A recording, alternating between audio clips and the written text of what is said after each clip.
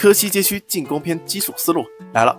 本视频以令为核心，讲解思路的同时会讲该如何放墙，有什么作用。为了保证打法配合简单好学，所以视频内没有包含瞬爆雷、瞬爆烟这类道具。感兴趣的可以在站内自行搜索。我们直接看阵容选择：明、拉威跟令，最后两名可做轮换。推荐调僵尸跟飞沙。调僵尸的提速能力能让防守方的压力更大，飞沙的透视能力则能跟光幕打出不错的配合。道具这里，拦截至少四个，风场带一个，烟药两个，其余无特别要求。进攻方的基本三要点已经在上期视频提过了，那么废话不多说，直接进入主题吧。我们惯例先讲 A 点，A 点有三种方案，如图所示。因为 A 小和 A 大前点经常有人卡位，配合道具的灌脸和高台架枪，近点变得充满挑战性。所以拦截和烟雾需要配合好才能进点。这里视频演示的是 A 小和 A 大的近点烟点位。这里还要做一个拦截者的纠错，很多人都是像这样子，远远的就将拦截者扔进 A 小的黑屋里，感觉给的又快又好又顺手。但是这样的拦截者扔了跟没扔一样，卡前点的防守方扔道具不受半点阻碍，所以会出现明明扔了拦截者却还是猛猛吃雷的情况。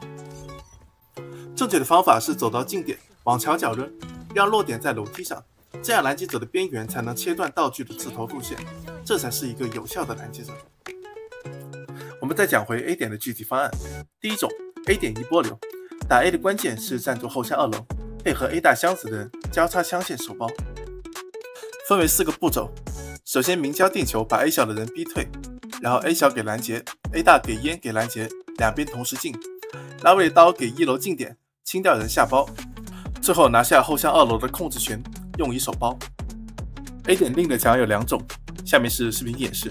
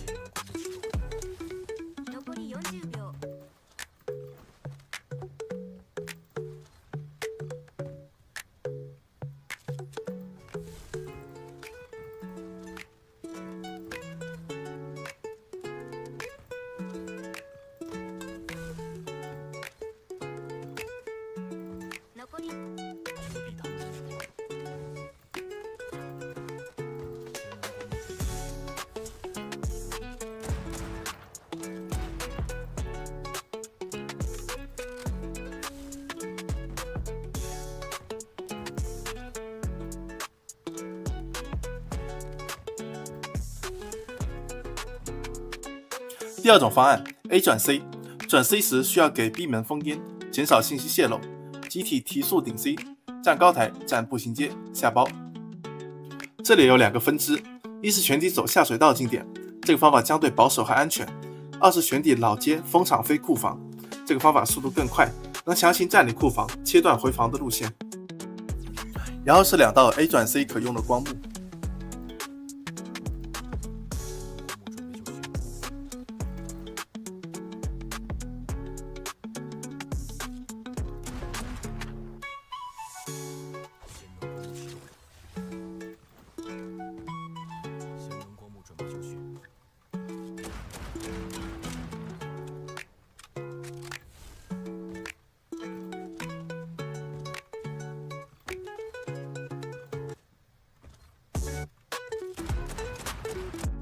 第三种是 A 转 B 进 C，这个在视频后面讲的 B 点进 C 的操作是一样的，此处请参考后文。B 点也有三种方案，如图所示。B 点四面漏风的地形决定了它不适合站点下包守包，更多的时候只能作为转点的道路。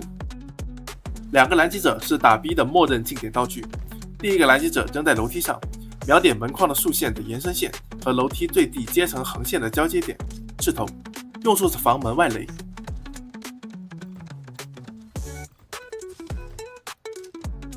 即使贴着墙扔道具，手也会碰到拦截者的范围。第二个拦截者在摸到近点后扔在脚下，用处是防进门时吃各种道具。第一种 B 进 A，从 A 连接顶进 A 点，亲人站点下包手包，分为三个步骤。首先，在门的左边给墙，墙要把 A 连接分隔开。墙的作用是摧毁连接处的一个优势枪位，以及防止被打背身。然后，拉威的刀要给到 A 的连接里，烟刀进 A，因为 A 连接外有多个优势枪位，硬出的话会死伤惨重。最后，进点后一人去下包，然后去 A 大的平台架远点，多一条枪线的同时，也防止了被 A 小摸回来的人绕背。其余人死守回防的两个口子，这一分就拿下了。第二种，B 进 C，从 C 连接顶进 C 点，亲人站点下包手包。首先，在门的右边给墙，墙只需要把 C 连接的小箱子遮住。如果把窗口也遮上，进连接时队友的视野就会被墙给糊一脸。然后给连接两个拦截者以及拉威的烟刀，冲的过程中要时刻注意有没有防守方穿墙打背身。从库房进 C 点，近点有人的话就先抓。最后。站住库房的二楼和步行街的门口，下包手包结束。第三种下包退守，硬墙墙下包，退到点外手包。第一步，站在门外的右边给硬墙，要把 C 连接全部遮住，包点只留一个小缝的下包。其余人进来帮架住，确保下包成功。下完包则全部退出门外手包。需要注意的是，这个方案只有在有硬墙时才能用，不然会被混死。适用于防守方大招太多，近点手包很难守下来时使用。最后是 C 点，C 点有两种方案。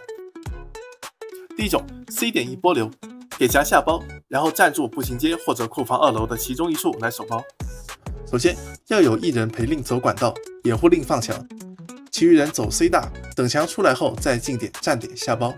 最后步行街和库房至少要站住其中一个，否则守不住包。C 点令的光幕有三种，下面是视频演示。